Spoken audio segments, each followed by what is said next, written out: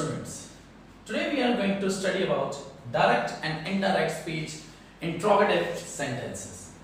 What are the interrogative sentences? Well, interrogative sentences are the sentences in which we ask something. For example, I have written over here, he said, have I written this story? Well, in this sentence, you can see that in the end there is question mark.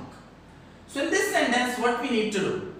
In this sentence, we have to focus on the parts of the sentences. Well, this part and this is the second part.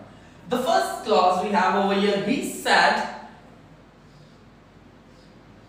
must be changed into he asked. He said must be changed into he asked. Now, you have two options over here. If or whether.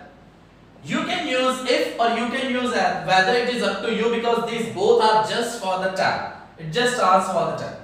Question. So what we need to do? He asked if.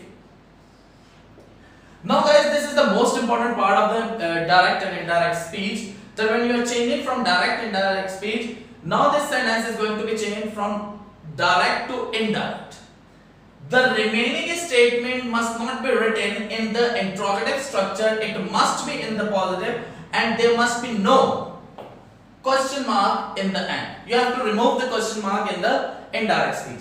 So what I have to do? Just remember, you have to change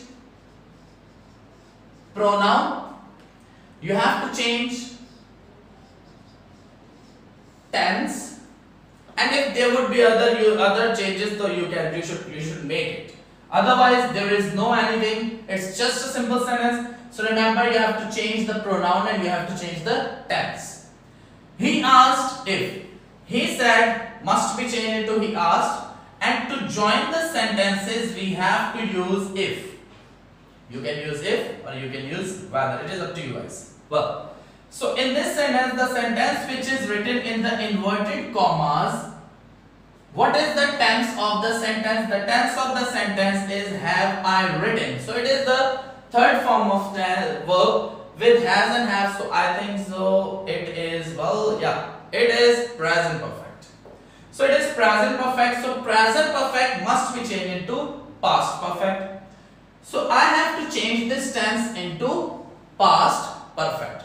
When I'm going to change the sentence into past perfect, I have to remember one thing that I have to change the pronoun also. Pronoun must be changed according to the pronoun which is written in the uh, in this in the first clause. So guys, let's see. I have to change he asked if he I change as he. Now the tense is present perfect, so I have to change it to past perfect. He had written the story. Now as you can see that this part of the sentence is completely positive sentence so it doesn't need any kind of question mark. You just need to put full stop. So this is the way to change the sentence. Here I have another example. For example, she said, not Almi. She said, yes. How we should change it? She said, yes. It must be changed into she asked. Now, now to join the sentence, what we should do? If. This sentence is past continuous. So this past continuous must be changed into past perfect continuous. He asked if she had been cleaning the floor change this statement into positive and it must not be into interrogative. So guys you can see that you have to change these sentences into indirect and there are different changes you have to do. You have to change this part of the sentence. You have to join. If as in the positive you are changing, you are using that. But over here you have to use if. This actual word of the speaker, it must be written in the statement or it must be written as a positive sentence. It must not be as a interrogative statement. So what you need to do? Do one thing that do the practice, more practice and you will be able to learn more. So guys what you have to do? Write down sentences, practice it and you will be able to change your interrogative sentence direct speech into indirect. Want to ask any question? You can. Thank you very much.